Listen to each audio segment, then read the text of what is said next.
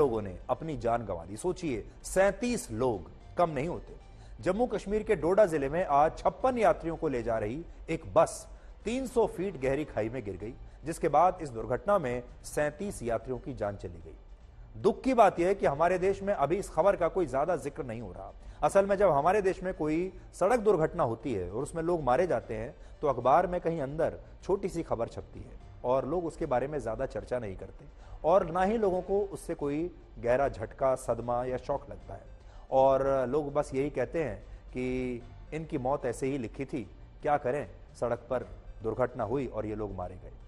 अब सोचिए, कल्पना कीजिए, अगर यही लोग इसी जम्मू कश्मीर के, इसी डोडा ज़िले में किसी आतंकवादी हमले में मारे गए होते तो शायद ये भारत नहीं, पूरी दुनिया की सबसे बड़ी खबर बन जाती। सोचिए, आतंकवादी आते और सैंतीस लोगों को मार देते। कितनी बड़ी खबर होती। लेकिन बस दुर्घटना में मारे गए, इसलिए कोई बात तक नहीं कर रहा।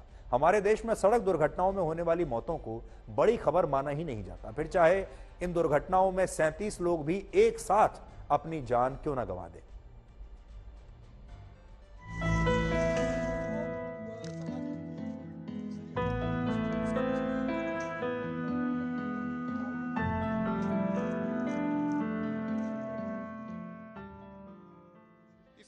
मौजूद हैं। जम्मू कश्मीर के डोडा ज़िले के असर इलाके में यही वो स्थान है जहाँ पर आज सुबह एक दर्दनाक हादसा हुआ। दरअसल किश्तवाड़ ज़िले से जम्मू शहर की तरफ़ एक यात्रियों से भरी बस खचाखच भरी थी और ये जम्मू शहर की तरफ़ जा रही थी किश्तवाड़ ज़िले से, जब अचानक ये बस असर इलाके में पहुँचती है और इस बस का यहाँ पर एक एक्सीडेंट हो जाता है। पहाड़ी के वो ऊंचाई से वहाँ से वो बस गिरी और सीधा इस खाई में आके गिर गई। और बाद में इस देखा जाए तो इस बस के पड़खच्चे उड़ गए। लेकिन आप देखिए, इस बस की क्या हालत हो चुकी है। पूरी तरह से क्षतिग्रस्त हो चुकी है बस, और इस बस की हालत देखकर आप कल्पना कीजिए कि जो इसमें यात्री बैठे थे, उनके साथ क्या बीता होगा। आप यहाँ पर देखिए तबाही का मंजर। जो लोग इसमें सवार थे, जो यात्री इसमें सवार थे, उनका बचा हुआ सामान यहाँ पर आप देख सकते हैं, उनके जूते देख सकते हैं आप, उनके कपड़े देख सकते हैं, उनके बैग देख सकते हैं। आप समझिए, जरा कल्पना कीजिए कि क्या हादसा यहाँ पर हुआ होगा। और इतनी ऊँची जो है ऊंचाई से बस यहाँ पर गिरी है इस खाई में। तो इस बस की पूरी तरह से क्षतिग्रस्त हो गई बस। इस पूरे हादसे पर जाँच के भी आदेश दे दिए गए हैं।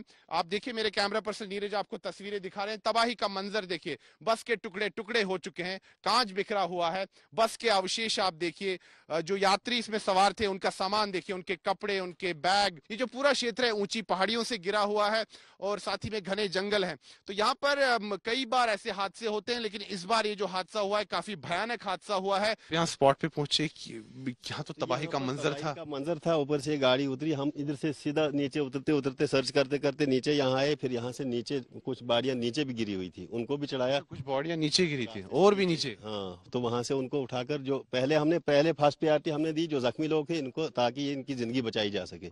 इनको उठाकर पहले अस्पताल के लिए शिफ्ट हमारे देश में हर साल सड़क दुर्घटनाओं में डेढ़ लाख से ज़्यादा लोग मारे जाते हैं। ये डेढ़ लाख लोग असल में बच सकते हैं। इसकी वजहें कुछ भी हो सकती हैं। कभी सड़क खराब होती है, कई बार जो वाहन है, उनकी स्थिति खराब होती है, कई बार जो ड्राइवर है, उसकी गलती होती है। कई बार यातायात के जो नियम हैं, उन्हें लोग फॉलो नहीं करते हैं। बहुत सारी वजहें हैं हमारे यहाँ, लेकिन बड़ी बात यह है कि हमारे ना तो प्रशासन, सरकार और हमारे देश की आम जनता और ना ही मीडिया। हमारा जो पूरा ये जो इकोसिस्टम है ये सड़क दुर्घटनाओं को गंभीरता से लेता ही नहीं है।